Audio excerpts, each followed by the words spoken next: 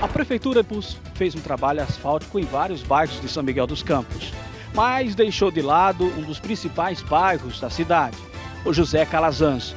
Esse bairro tem um potencial incrível e pode aparentar estar tá sem saneamento. Se engana quem pensa dessa maneira. O bairro já tem saneamento, o que falta é só o calçamento. Venham comigo.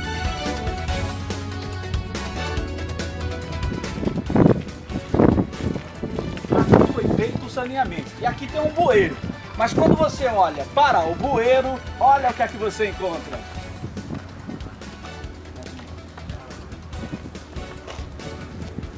Ele está topado de lixo. Tem entulho de tudo quanto é jeito. E olha que você pode perceber que foi trabalhado tem alguns meses. Mas infelizmente está abandonado pela gestão municipal. Essa rua, por exemplo, é uma das ruas que mais a população tem sofrido nos últimos anos. Não conseguem descer, muito menos subir, principalmente quando chove. Várias pessoas vêm sofrendo diversos acidentes. O chuva assim até meu pé aqui, a minha vizinha ali, ó, quebrou o braço assim, a dona Cida. Oh, tá aí? Ela deve estar a munheca do o braço quebrado da ladeira que desceu. Ela desceu aqui essa ladeira, foi? Foi, ali. Ixi, meu Deus. Um que era um buraco, tapou, porque o irmão aqui botou uma caçamba de. Como é que chama? De, de, de barro. De barro. Esse daqui o, o próprio morador colocou. Ah, é, a gente vai arrumando Não era um buraco, Ju aqui. Aproveitar aquele negócio da água, acabou pra ajeitar a água e não tapou. Ficou um roubo aí. Tá vendo só? Quebrando braços, pernas, carros já têm se embalado, não conseguindo permanecer na ladeira.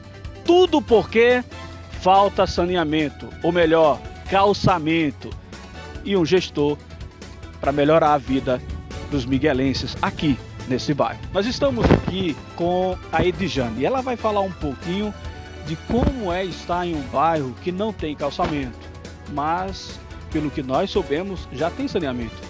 Boa tarde, Dijane. Como é que você avalia o bairro José Calazans hoje? Boa tarde. Bem, aqui melhorou um pouco agora, né? Porque fizeram o saneamento básico, mas ainda continua ruim, né? Por causa que quando chove, é lama para todo lado, o pessoal se atola, a gente cai aqui de moto, é muito difícil pro, pro pessoal, né? Principalmente o pessoal, o pessoal que mora aqui tá nessas condições. E como você vê, quase todas as, as ruas aqui são calçadas. E essa daqui faz muitos anos que tá desse jeito e até agora não tem solução. É que você avalia o prefeito colocar asfalto no, em bairros que não tinha tanta necessidade e deixar um bairro como José Calazans, que precisa mais do que eles, sem asfalto, sem um calçamento? Olha, eu acho que eu, eu acho que ele esqueceu um pouquinho daqui de cima, né? É porque é um morro, aí eu acho que não dão tanto valor.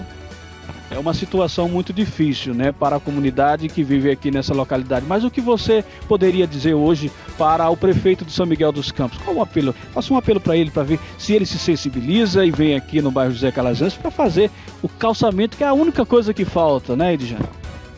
É, eu peço para ele, eu não conheço muito ele, mas conheço o Geraldo Lesse, né, seu vice, que olhe por nós aqui, né? E pelos moradores e façam alguma coisa pela gente, pra gente não sofrer tanto, né? Com as chuvas. Obrigado, Edjane. De nada.